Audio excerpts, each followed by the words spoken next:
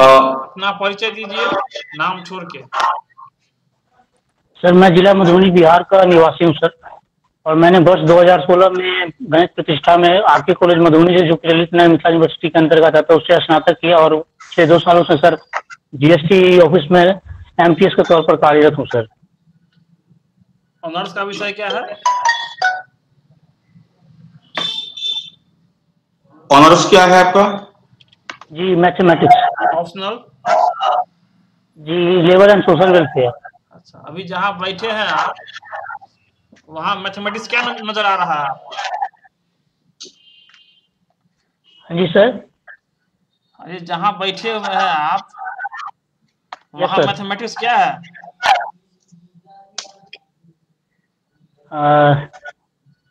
Sir ये तो एक रेक्टेंगल है सर जी रेक्टेंगल साइज़ शेप का सर एक बेड है सर और बताइए।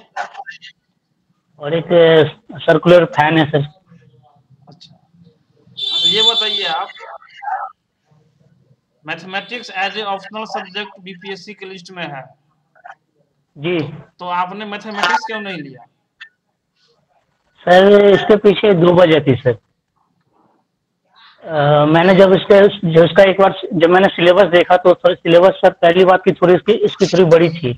और साथ ही साथ मैंने जो ललित नारायण मिथिला यूनिवर्सिटी के सिलेबस के अकॉर्डिंग तैयारी करी थी लेकिन इसका जो सिलेबस था सर थोड़ा बहुत पटना यूनिवर्सिटी के बेस पे था और इसमें मुझे सर थोड़ा ज़्यादा टाइम देना होता जो कि नौकरी में बैठते हुए पॉसिबल नहीं था सर किस किस डिपार्टमेंट में जॉब करते हैं आप? Sir GST department sir full form बताइए तो। Goods and service tax sir अच्छा कब से लागू हुआ है? सर ये एक जुलाई 2017 से लागू है सर अच्छा। क्यों लागू किया गया जीएसटी? इसे एक देश एक कर के तौर पर देखा देखे जाने के लिए सर कि ताकि जो हमारे यहाँ कई सारे टैक्स के जो अलग अलग प्रकार के जो टैक्स हैं उसको एक सम्मिलित टैक्स के रूप में नियोजित करने के लिए ताकि समस्त देश में चीज़ों की जो मूल्य हो बराबर कैस्केडिंग इफ़ेक्ट क्या होता है? हाँ जी सर सॉरी कैस्केडिंग इफ़ेक्ट क्या होता है?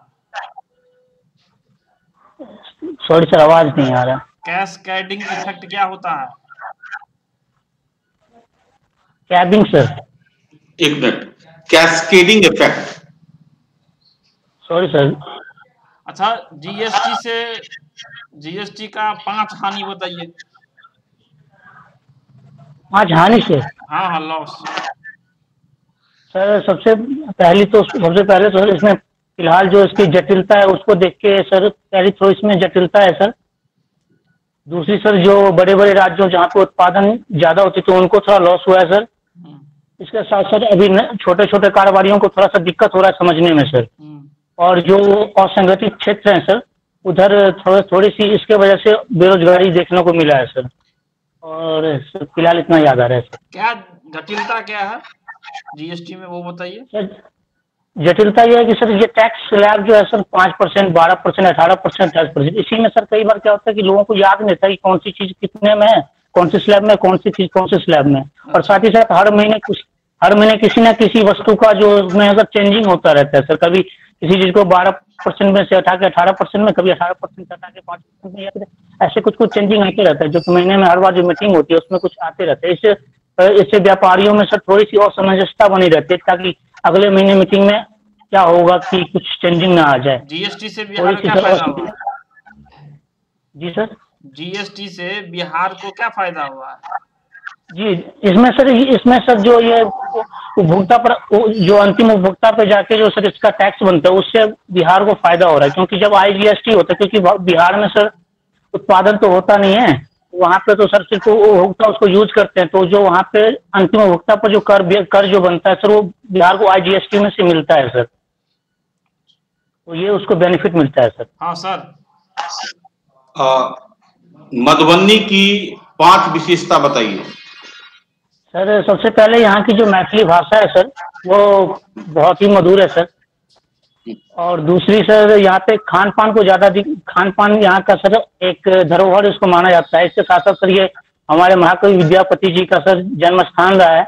और साथ ही साथ जो माता सीता की जो मिथिलांचल में उनका जो एक महत्व है सो मधुबनी से बहुत ज़्यादा है सर। साथ ही साथ उसके बाद मधुबनी चित्रकला जो कि आज विश्व प्रसिद्ध बन चुका है और मधुबनी को अलग पहचान देता है सर। और इसके साथ साथ यहाँ पे सर मखाने की खेती होती है सर उच्च स्तर पे। अच्छा आपने कहा मैथिली भाषा की बहुत मिठास है समृद्ध रही है विद्यापति का भी नाम जो है। मैथिली के तीन कवि का नाम बताइए जो आपके क्षेत्र से है। सर सबसे पहले तो महाकवि विद्यापति जी हैं। उसके बाद एक कवि का सर नाम कमलाकांत ठाकुर जी का नाम कमलाकांत झा जी का नाम आया सर। हम्म, और एक उसके बाद सर शिव कुमार जी शिव शिव कुमार जी हैं सर। अच्छा विद्यापति दरबारी कवि थे भक्त कवि थे या श्रृंगारिक कवि थे क्या थे? सर इतना तो सर पता नहीं है लेकिन अगर आपकी अनुमति हो तो मैं कुछ बताऊँ सर। बोला जाए। सर मेरे हिसाब से तो श्रृंगार के कवि थे सर। श्रृंगार रस के कवि थे। विद्यापति कुछ रचना बताइए। सर सबसे पहले जय जय भैरव असुर भयावनी सर मैंने उनका बहुत ज़्यादा बहुत ज़्यादा बार सुना साथ ही साथ उनका कुछ जो पिया मूर बालक एक ये भी सुना है सर। और उसके बाद कुंज भवन से आयल है ये गाना सुना है सर। कोई रचना बताइए। रचना सर एक सुनने में आया था सर। बरसुख सार पावल तो तीरे सर एक ये सब तो कब- ये सब तो-। ये सब तो कविता है। उनकी रचनाएँ बताएँ। सॉरी सर याद नहीं अच्छा, चलिए मिथिला पेंटिंग मधुबनी की विशेषता ही नहीं रह गई है पूरे बिहार की विशेषता है। जी जी हाँ? जी सर। और अंतर्राष्ट्रीय स्तर पर भी हमारी मधुबनी पेंटिंग का पहला निदर्श कब मिला? सर पहला तो सर एक बार सुनने सर जो मैंने कुछ दिन पहले पढ़ा था सर इसके बारे में उसमें सर उन्नीस सौ सड़सठ अड़सठ के टाइम पे सर एक बारी उस टाइम पे दिल्ली विश्वविद्यालय के एक, प्रोफेसर थे जो कि इस क्षेत्र में आए थे और यहाँ पे उन जो स्त्रियों के द्वारा जो वो एक जो कोवर और जो अर्पण टाइप का होता है उसी को उन्होंने उसको कपड़े पे उकाड़ के दिखाया था। तभी सर इसके इसकी कुछ ज़्यादा ही इसके कुछ ज़्यादा मतलब उसके बाद प्रचार प्रसार हुआ है। अच्छा मिथिला पेंटिंग के लिए मधुबनी की कई महिलाओं को पद्मश्री पुरस्कार दिया गया है। जी जी। कौन कौन सी महिलाओं को दिया गया है? अरे सर सर सर्वप्रथम जो हमारी स्वर्गीय महासुंदरी देवी थी उनको मिला सर। और हम्म। उनके बाद सर गोदावरी दत्ता जी को मिला है सर। और? सॉरी सर ये दो याद है। मध, मध, मधुबनी पेंटिंग के लिए मधुबनी का तीन क्षेत्र बहुत प्रसिद्ध है। कौन कौन सा तीन क्षेत्र है वो? सर सबसे पहले तो जितवाड़पुर है सर उसके बाद रांटी और उसके बाद एक और एक और क्षेत्र है सर शायद नाम सर मैं रिकॉल नहीं कर पा रहा हूँ। अच्छा मधुबनी पेंटिंग में ऐसी क्या विशेषता है जिसके कारण यह अंतर्राष्ट्रीय स्तर पर व्यावसायिक रूप से बहुत ज़्यादा सफल है? इसमें सर शुरुआती स्तर पे तो सर इसमें किसी अन्य यंत्र का उपयोग नहीं किया नहीं किया जाता था। साथ ही साथ प्राकृतिक प्राकृतिक रंगों का प्रयोग किया जाता था और इसमें सर दैनंदिनी चीज़ों को सर इसमें इंक्लूड किया जाता था।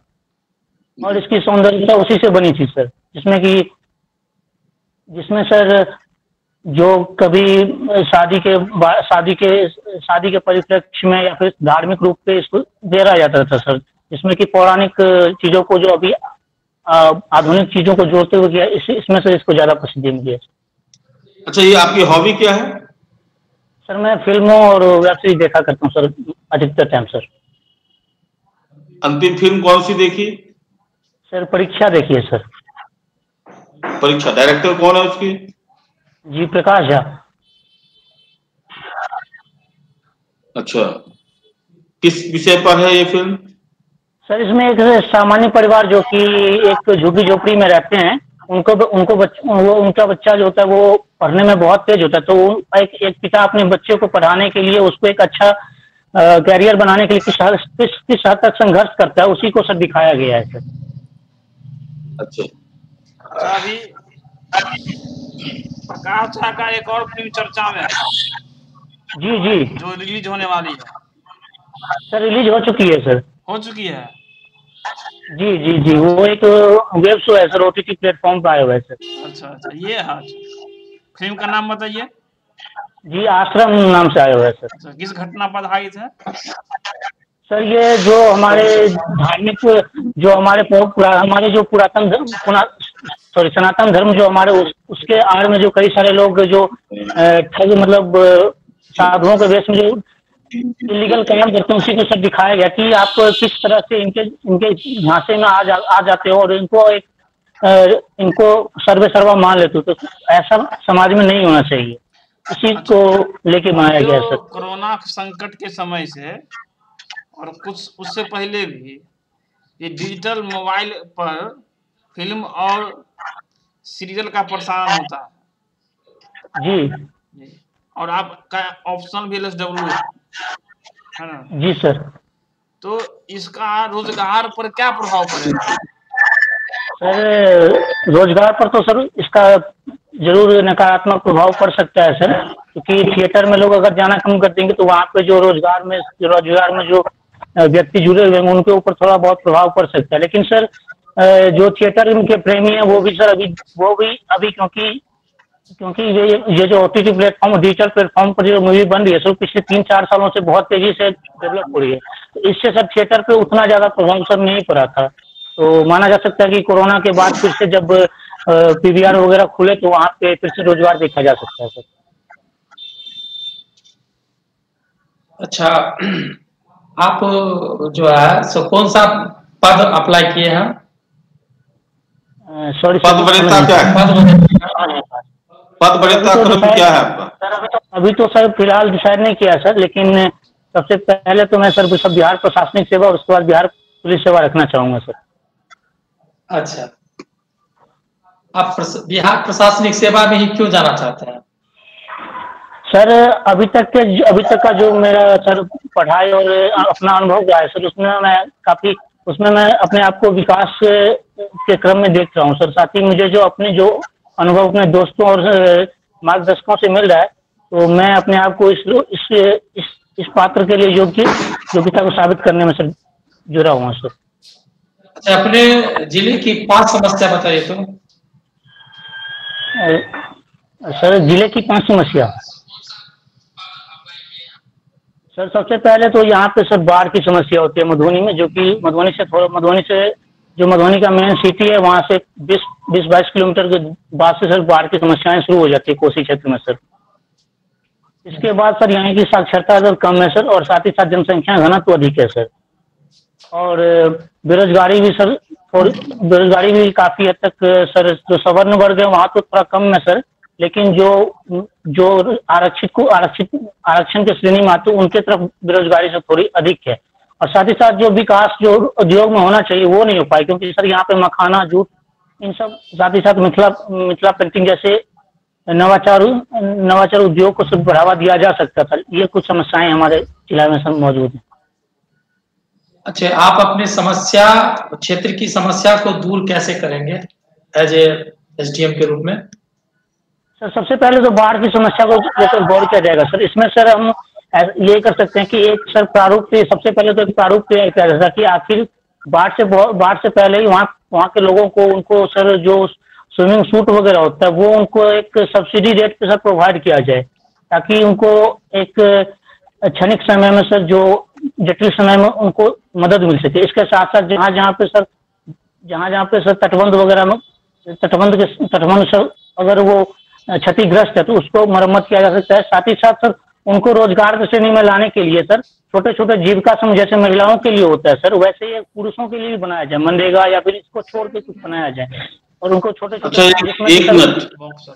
है बांधों के मरम्मत के लिए एक सी पाइलिंग विधि बिहार सरकार ने भी लॉन्च करी है।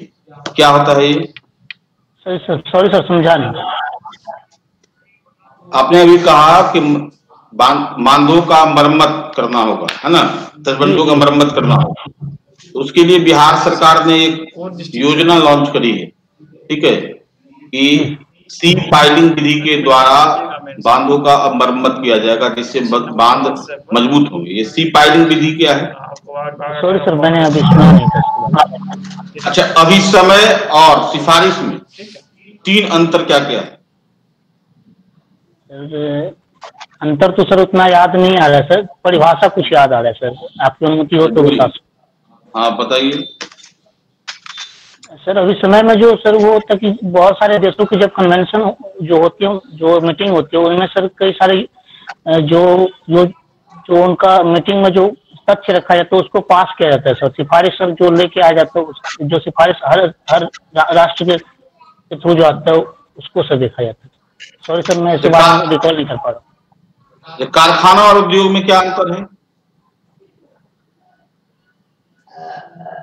सर कारखाना में कारखा- कारखाने में किसी वस्तु का उत्पादन होता है सर। और उद्योग में सर जो उद्योग में सर सेवा मतलब जो जब वो उत्पादित वस्तुओं का सर जब उसको उस- उद्या- उद्योग अच्छा, उत्पादित वस्तुओं का सर क्रियान्वयन किया जाता है। बालक किसे कहते हैं? Sorry sir? बालक किसे कहते हैं? सर चौदह वर्ष से कम आयु के कम आयु के बच्चों को सब बालक कहेंगे सर। किशोर? चौदह से सोलह वर्ष के चौदह से सोलह वर्ष सर। आयु वर्ग के बच्चों को। श्योर है आप? सॉरी सर श्योर नहीं हूँ मैं।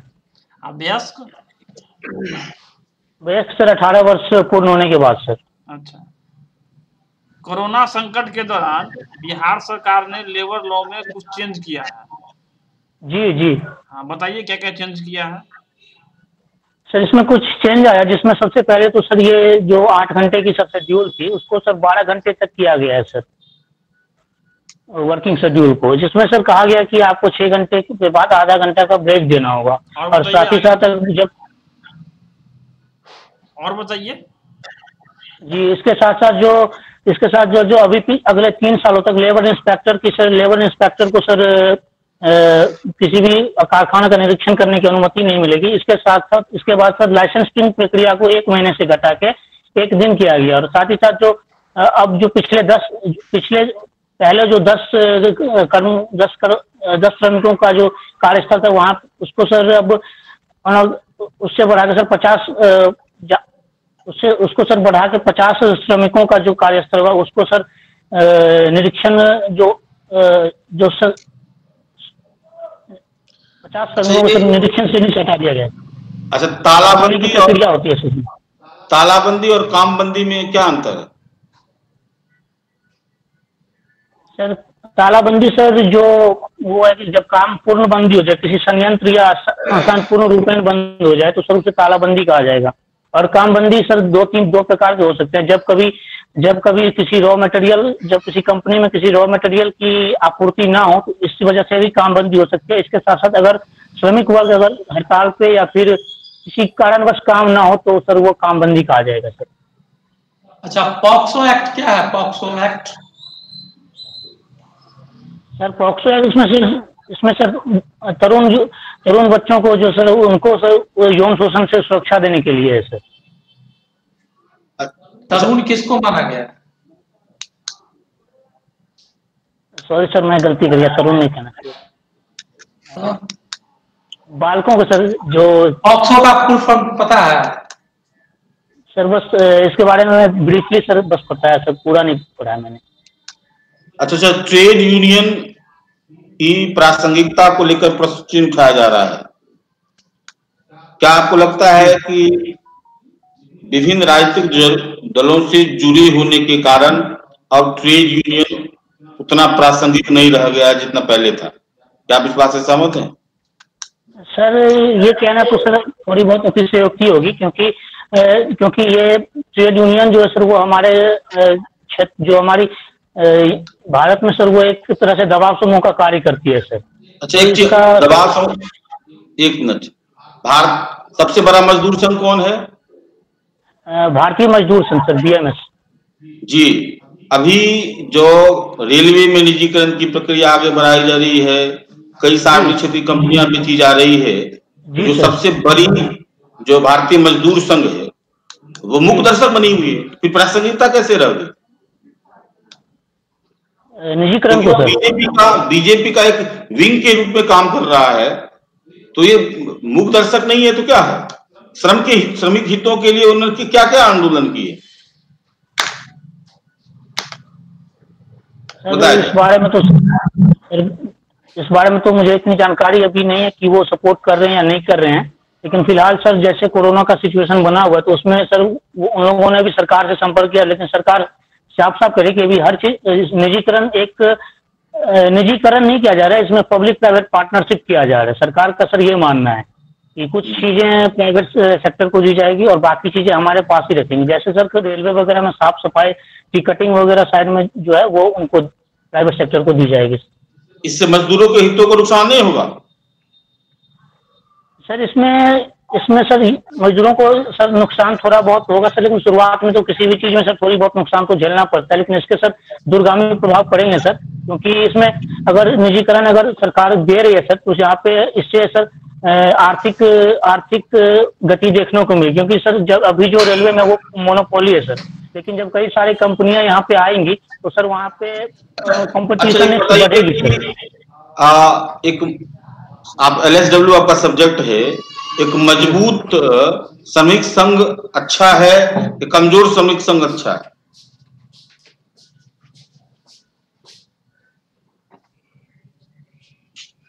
सर मेरा मानना है कि आप मेरा मानना है सर ये कि मज़बूत और कमज़ोर का नहीं यहाँ पे यहाँ पे अपने अधिकारों की और अपने अधिकारों की सुरक्षा को जो महत्व दे वही सही है सर। अच्छा जो हम ये पूछ रहे हैं आप प्रशासक बनेंगे। ठीक है आप मलिया सीनियर डिप्टी कलेक्टर बनेंगे उसके बाद आप आ, उसको पदक्रम तो आपके नीचे जो कर्मचारी काम कर रहे होंगे तो उनका जो संघ होगा वो मज़बूत होना चाहिए आपके लिए या कमज़ोर होना चाहिए? सर मज़बूत और कमज़ोर की बात तो सर नहीं करना चाहते। यहाँ पे जो भी हो संविधान जो संविधान में जो कानून बनाया गया है सब उस, वो उसमें उसी के अकॉर्डिंग में ताकि उनके भी अधिकार की रक्षा हो और हमारे भी अधिकार की रक्षा हो सर। और एक परस्पर मिला हुआ सर मिला हुआ कार्य परिवेश बनाया जाए सर। मूल अधिकार से क्या समझते हैं? सर ये किसी भी नागरिकों को सर सम्मान पूर्वक जी सम्मान पूर्वक जीवन जीने के अधिकार प्रदान करता है सर। राज्य जब आपके मूल अधिकारों का हनन करती है तो इसके विरुद्ध आपके पास क्या उपाय है? सर इसके विरुद्ध सर हम संविधान के अनुच्छेद बत्तीस के तहत हम हाईकोर्ट और सुप्रीम कोर्ट में सर याचिका दायर कर सकते हैं जिसमें पाँच होती है। एक हाई कोर्ट में कितने अनुच्छेद बताया आपने? सर हाई कोर्ट और सुप्रीम कोर्ट में हम याचिका दायर सकते जो कि पाँच प्रकार की विधि एक एक मिनट। अनुच्छेद बत्तीस के तहत सुप्रीम कोर्ट में हम जा सकते हैं। हाई कोर्ट में नहीं हाई कोर्ट का अलग है अनुच्छेद वो बताइए। हाई कोर्ट का सॉरी सर याद नहीं है सर सर आपका विषय एल एस डब्ल्यू है। कौन सा अनुच्छेद है जो बालकों को खतरनाक नियोजन में जाने से रोकने के लिए बनाया गया है? जी जी जी अनुच्छेद चौबीस है सर जिसमें कहा गया है सर ये बात। विचार लीजिए फिर से।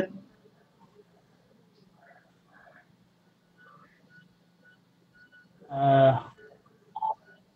मेरे हिसाब से तो अनुच्छेद तेईस या चौबीस है सर। तेईस या चौबीस और निर्णय की स्थिति हो जाएगी? मूल कर्तव्य सॉरी ये डीपीएसपी का प्रावधान है भाग चार में संविधान के। जी सर। आप एसडीएम के रूप में इसका उपयोग कैसे करेंगे? सर इसमें सर जो इसमें अनुच्छेद अड़तीस इकतालीस बयालीस और उनचालीस को